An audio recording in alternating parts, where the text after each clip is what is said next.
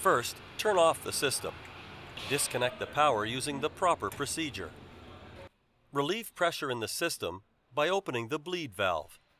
Remove the bleed filter, inspect, and clean or replace as necessary. Replace the filter and housing.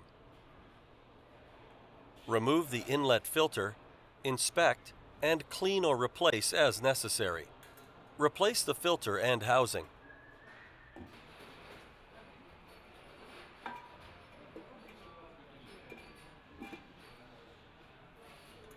Check the oil level. Remove the fill port cover and top up the oil if required.